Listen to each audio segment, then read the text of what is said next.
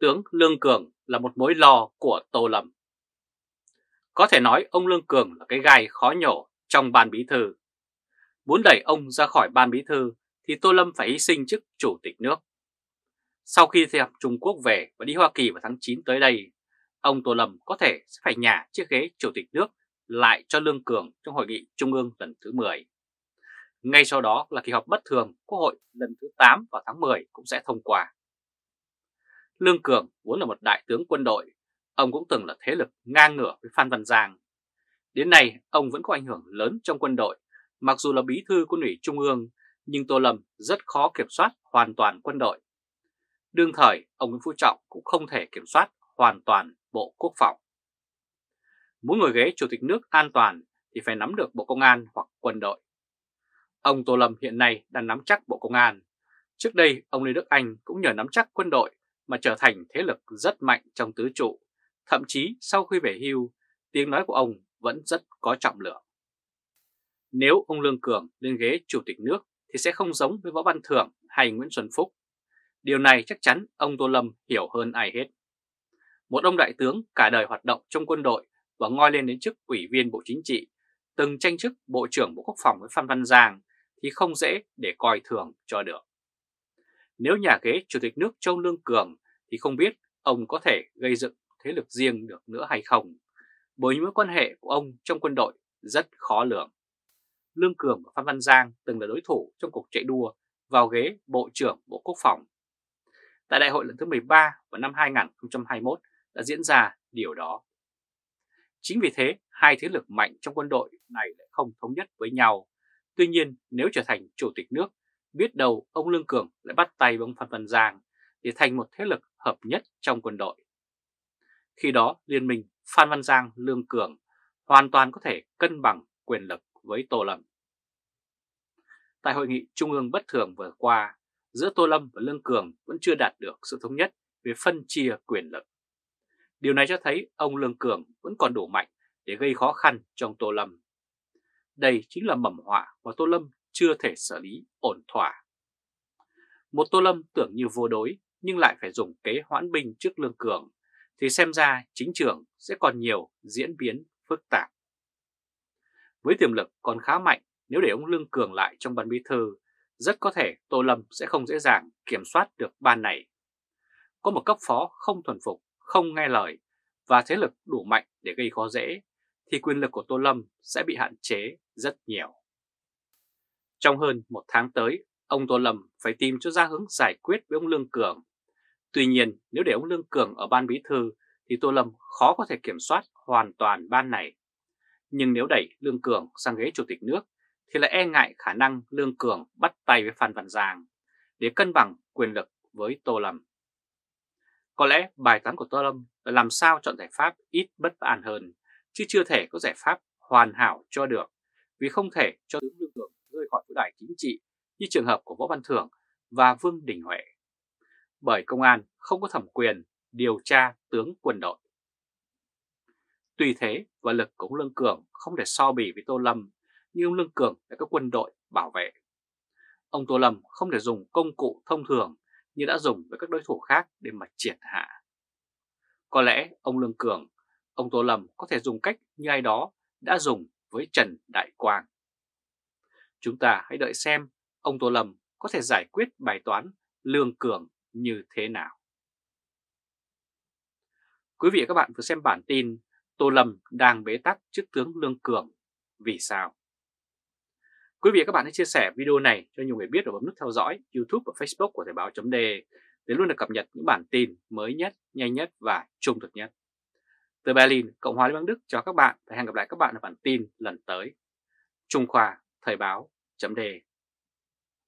Tô Lâm đại thắng, Xuân Cầu hồi sinh, Tô Dũng thành ông trùm mảng kinh tài. Trong lúc Tô Lâm đánh tập đoàn Phúc Sơn để hạ Võ Văn Thưởng, rồi đánh tiếp tập đoàn Thuận An để hạ Vương Đình Huệ, thì ở chiều ngược lại, phe quân đội cũng lôi tập đoàn Xuân Cầu cũng đại gia Tô Dũng, em trai Tô Lâm, chuẩn bị đưa lên thớt. Tuy nhiên, việc đánh vào Xuân Cầu sau đó bị lãng quên vì Tô Lâm đã thắng thế trên vũ đài chính trị. Khi Tô Lâm dùng Bộ Công an để đánh vào sân sau của các đối thủ nhằm giành lấy lợi thế chính trị, thì các phe khác cũng phản đòn với đường quyền giống y hệt như thế. Tuy nhiên chỉ hai bên ra đòn cùng một đòn giống nhau thì bên nào ra đòn trước sẽ thắng. Tô Lâm ra đòn trước và đã thắng, còn quân đội chậm chân hơn nên bất lực. Giờ đây Tô Lâm đã là Tổng Bí Thư và Bí Thư Quân ủy Trung ương, xem ra phe quân đội khó có điều kiện để moi thêm sai phạm của công ty Xuân Cầu. Có thể nói sau ván cờ cân não, Tô Lâm đã cứu cho Xuân Cầu một mạng, đồng thời cũng là cứu lấy chính mình. Hiện nay Tô Lâm đang thực hiện việc thanh lọc hệ thống, đặc biệt trong ban bí thư. Đồng thời ông cũng loại bỏ những thành phần ekip quyền lực khỏi vũ đài chính trị và xây dựng thế lực hưng yên lớn mạnh. Qua đó công ty Xuân Cầu của Tô Dũng cũng sẽ ngày càng trở nên lớn mạnh trên thương trường. Vạn Thịnh Phát đã bị loại khỏi mâm kinh tài, nhưng điều đó không có nghĩa là nền kinh tế Việt Nam trong sạch hơn, mà chỉ là cách tranh giành miếng bánh kinh tế mà thôi. Vạn Thịnh Phát sụp đổ thì Xuân Cầu nổi lên thay thế và có khả năng sẽ bành trướng hơn. Trong thời gian dài, Vạn Thịnh Phát đã phát triển dựa trên các thế lực chính trị lớn. Khi các thế lực chính trị này hết thời, thì doanh nghiệp cũng bị thịt. Nền kinh tế Việt Nam là nơi phản ánh tình hình chính trị thượng tầng. Các thế lực cũ bị lật đổ và thế lực mới thay thế, thì hệ thống kinh tài sân sau cũng trùng số phận. Hiện Vingroup của Phạm Nhật Vượng vẫn được cả Bộ Công an bảo vệ và Ban tuyên giáo quảng cáo. Điều này cho thấy Vingroup vẫn chưa đến hồi tàn. Tuy nhiên, Xuân Cầu thì thế lực lại đang lên, rất có thể thời gian tới sẽ lại trở thành thế lực cạnh tranh với Vingroup. Có thể nói trong lĩnh vực kinh tế, Tô Dũng đang từng bước trở thành ông trùm mới. Đảng Cộng sản giờ đây đã phân phe tách nhóm rất mạnh. Mỗi phe phái chính trị đều có đằng sau một hệ thống sân sau để chiếm dụng tài nguyên đất nước để vơ vét sức dân làm giàu. Rồi đây Tô Lâm sẽ tiếp tục nhân danh sự trong sạch để đánh gục chân rết của các thế lực khác, rồi cho tuyên giáo bơm thổi về một mục đích cao cả của ông Tổng Bí Thư. Một khi đã nắm quyền lực tuyệt đối, đã xây dựng hệ sinh thái quyền lực vượt trội, Tô Lâm sẽ nuôi Xuân Cầu lớn mạnh, không có điểm dừng. Đi kèm với sự lớn mạnh đó là những vấn nạn mà người dân phải chịu đựng. Tương lai đất nước bị chiếm dụng, biến thành tài sản riêng của các quan chức và doanh nghiệp thân hữu. Ở các nước dân chủ, các doanh nghiệp lớn mạnh là tín hiệu đáng mừng bởi đa số họ là những doanh nghiệp chân chính, tồn tại và phát triển trong một môi trường kinh doanh cạnh tranh lành mạnh. Còn với Việt Nam, sau khi một thế lực chính trị mới nổi lên, thì đất nước lại chứng kiến những doanh nghiệp thánh gióng. Tuy nhiên, hậu quả của loại hình kinh tế thân hữu này là một nước Việt Nam tụt hậu. Sự phát triển chỉ là những con số thống kê, còn đời sống người dân thì vẫn cơ cực, bế tắc. Tô Lâm lên thay Nguyễn Phú Trọng ông sẽ khiến đảng trở nên hỗn loạn hơn, nền kinh tế Việt Nam vẫn sẽ bị nhuộm màu đen của các thế lực chính trị hắc ám. Giấc mơ kinh tế thị trường đúng nghĩa với Việt Nam vì thế còn rất xa vời. Quý vị và các bạn vừa theo dõi bản tin Tô Lâm đại thắng, Xuân cầu hồi sinh, Tô Dũng Thánh ông trùm mảng kinh tài.